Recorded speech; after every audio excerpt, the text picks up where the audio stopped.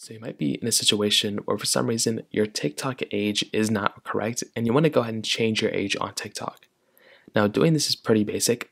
The first thing you want to do is you want to make your way over to your TikTok application and you want to go and open up the app as you normally would.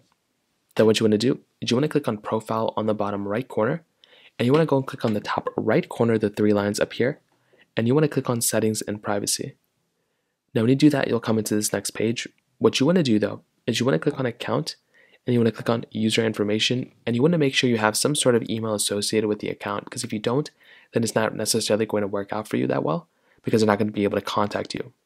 So then from here, you can do contact information and you may want to choose, you know, if you want to add in some contact information for your particular account. That way TikTok can reach out to you if they really want to. Now let's go and hop back out until you get into this particular page. Now when you're here, what you want to do is you want to scroll down until you see a little option that says report a problem. So what we want to do is we want to click on report a problem and this next page is going to come up here.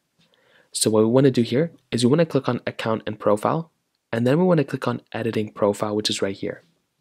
Now when this page comes up you want to tap on other and then when this next page comes up you want to scroll down until you see need more help.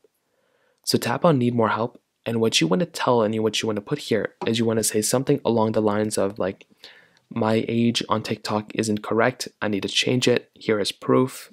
And then so on and so forth. You can kind of say something like that, so on and so forth, right? That's kind of how you're supposed to kind of do it.